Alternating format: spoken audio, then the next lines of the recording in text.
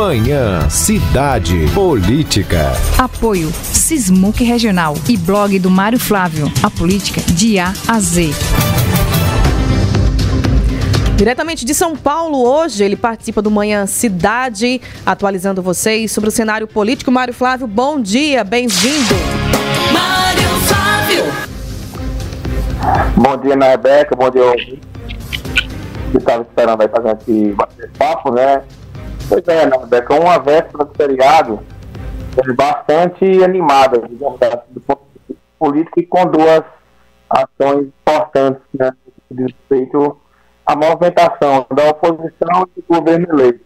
Né, primeiro, o, o, presidente eleito, Luiz Inácio da Silva, passou o fim de semana por uma matéria de exames de rotina, está né, tudo bem com ele, muita regulação foi criada a respeito dessa internação de última hora dele, e ele acabou confirmando, né, pelo protocolo, está tudo bem. Se puder tirar meu retorno aí do estúdio, Ana, seria bom. Tá? E aí o, o, o, o presidente eleito ele viaja para o Egito, onde participa da COP, e é muito, tem muita expectativa com relação a esse anúncio, o discurso dele, que ele vai, é, é, ele vai falar lá, né? Porque desde que foi eleito, Lula vem trabalhando muito uma agenda de meio ambiente, de que vai discutir muito essa questão da Amazônia, e isso vem pautando aí a grande mídia, que vem abordando muito esse assunto. Como a COP é uma discussão muito sobre isso, né, apesar de, de, de ser uma, uma, uma, uma agenda que tem muito protesto e muita gente presa, né, que vai protestar do lado de fora, é uma confusão do lado de fora. Mas enfim, o ex-presidente ele viaja para lá e vai participar disso. Por outro lado, a expectativa no Brasil de muitos protestos. Né? Já são 15 dias de protestos ininterruptos no Brasil contra a eleição do, do Lula. E ontem em Brasília, uma multidão na esplanada dos ministérios. E a expectativa é que amanhã, nesse feriado, né, a gente tenha mais uma vez grandes manifestações do Brasil afora das pessoas que não aceitam o resultado das urnas e estão é, protestando aí contra a eleição é, do, do Lula. E ontem nós tivemos movimentos enterrados né, com o pessoal que estava lá reclamando da eleição, enfim. E nos Estados Unidos também. Né, os ministros do Supremo Tribunal Federal estavam lá no restaurante, né, o, o Alexandre Moraes, Ricardo Lewandowski, o Gilmar Mendes e também o Barroso, e eles foram né, xingados né, por manifestantes que na verdade, começaram a filmar e eles foram filmar de volta e, e começou uma espécie de bate-boca e ministros tiveram que deixar é, o local. E alguns até bateram um pouco com, os manifestantes, só que lá nos Estados Unidos eles não são, eles não são ministros, né, são apenas cidadãos comuns por lá. E houve um bate-boca e, e esse clima hostil ele vai seguindo, não só no Brasil, como fora do país, e deve perdurar por muito tempo é, e mostrando que o país segue dividido e vai ser muito complicado. Né? O, o, o presidente Lula nem assumiu o governo, já enfrenta muita resistência. É, semana passada ele, ele fez um breve discurso, a Bolsa despencou, né? então muitos problemas aí, e nem assumir tá assim, imagina quando assumir. Então vai ser um governo marcado por tensões, né? principalmente né, do ponto de vista da oposição, que deve ser uma oposição ferrenha a atual gestão, aliás, a futura gestão do ex-presidente Lula, que vai virar presidente de novo. Mário, você também comenta sobre é, o caso né, da prefeita de Primavera, lamentável, né, a situação é, do casal, né, infelizmente o marido dela acabou morrendo no acidente. Isso também pode movimentar a política da cidade, já que a gestora né, está internada, acaba de perder o marido, enfim. É, é um fato local que chama a atenção por ser uma tragédia né, da, da política, numa cidade próxima a gente aqui ela fez uma viagem né, de moto com o marido e acabou sofrendo esse acidente e ele acabou morrendo e ela está é, tá internada, passando por cirurgia e vai passar por um momento delicado, principalmente após, né? Quando ele é, quando ele ouvir, quando ele, quando ela acordar, né? Aí a cirurgia e acabar tendo notícias que aconteceu, né? Uma situação muito triste que envolveu uma prefeita bastante equilibrada de primavera. A gente lamenta é porque é um fato é, que acaba deixando triste mais uma vez a política brasileira que passa por momentos é, bem complicados, né? principalmente do ponto de vista né, de, de tensão, como eu falei antes. É, a gente vai é, acompanhando essa situação, estou aqui em São Paulo, o assunto aqui é, é, onde a gente chega ainda é política, né? as pessoas muito é, é, insatisfeitas, muito outras insatisfeitas com o resultado da eleição. Então não é um, não é um fenômeno é, de uma parte apenas do Brasil.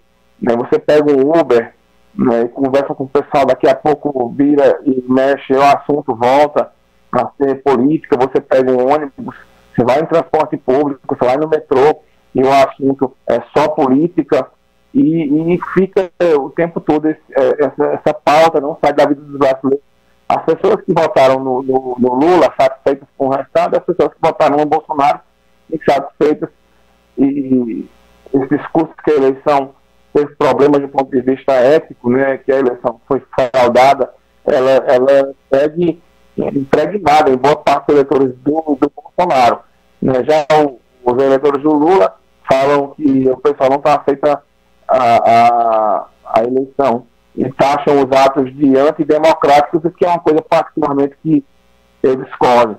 Eu acho que movimentação política ela é interessante, desde que não fira né, a constitucionalidade, não tira o direito de virar as pessoas. As pessoas estão, estão é, manifestando o seu, é, o seu direito, né, sem agressão, eu não vejo nenhum problema nisso. E aí em Caruaru, falando nisso, né, em, em atos é, que preocupam, né, tivemos né, na cidade uma pichação do muro do MST, né, da Fazenda Normandia, inclusive com é, atos né, que o pessoal sempre criticou. Né, e nessas pichações né, tinham lá é, as palavras, a palavra mito. E aí o pessoal reclamando, né, porque o muro do, da Fazenda Normandia foi pichado. Essa Fazenda Normandia, que é em Caruaru, é uma das fazendas mais antigas, antigas um dos assentamentos mais antigos da MSC no Brasil. E é produtivo. Né? Sempre produziram muita agricultura familiar, aí inclusive vendendo é, boa parte da produção para a prefeitura de Caruaru, né? E, e, teve esse ato ontem, né? Que chocou a todos, né? Porque a gente não está muito acostumado a, a ver esse movimento de estação, essas agressões aqui para Caruaru. E chegou ontem essa história e aí acabou assustando é, todo mundo, né? Porque não é uma coisa muito do feitio né, da nossa região, mas só mostra, mais uma vez, como está é, é, tá tenso o clima né, entre as pessoas. E, e as pessoas, é, um, símbolos né, que tinham lá, Mário. que lembram o nazismo, e as pessoas acreditam que é de um lado, mas o lado que o pessoal do Bolsonaro negando que tem essa situação e acusando o próprio de ter forjado a pichação. Ô Mário, e esse clima de tensão vai acabar quando? Só a partir de 2023 mesmo? Porque é, é como se as pessoas não entendessem né, o, que o processo eleitoral, né, no meu entendimento, foi decidido ali, na urna, né? É, mas aí é o seu entendimento, né? É isso que eu estou falando. As pessoas elas não estão aceitando porque o próprio relatório das Forças Armadas diz uma coisa e ao mesmo tempo diz outra. E deixa margem aí para a vários tipos de especulação. E aí, esse clima hostil, ele acaba tomando conta da população. E aí, postagens né, acabam, de uma certa maneira, incentivando e, e, e, e tocando fogo na situação. É, por exemplo, o ex-ministro do Turismo, Wilson Machado. Cortou. Mário? Mário Flávio, consegue me ouvir bem? Opa, caiu a ligação do Mário. Vamos retornar aqui para ele, para ele concluir o pensamento dele. Uh, você continua acompanhando o aumento da política aqui no Manhã Cidade, tá? Lembrando que o Mário Flávio está em São Paulo e a nossa, o nosso contato com ele é por meio da internet. Mário, tá nos ouvindo? Oi, oi, caiu a ligação. Vai lá. O ex-mini- o ex-ministro Cícero Machado Neto, ele, ele para concluir aqui, ele postou hoje na rede social dele um vídeo né, de um pênalti que um jogador perde e é uma decisão e o goleiro sai é, da barra e ele vai embora comemorando, só que a bola sobe e, a, e Tá, tá caindo a, a ligação do Mário Flávio. Como é que tá o sinal do Mário Flávio em São Paulo? É, lá já tem é, 5G em São Paulo? já deve ter, né? Mas a gente vai retornar o contato com o Mário Flávio para ele concluir o pensamento, tá? Ah, Mário, só um segundo, aguarda aí pra gente poder ligar para você. Ah, vamos ligar para ele aqui, rapidinho. Enquanto isso, você participa pelo nosso WhatsApp, tá bom? 998780997. Continua interagindo com a gente. Lembrando ah, que você pode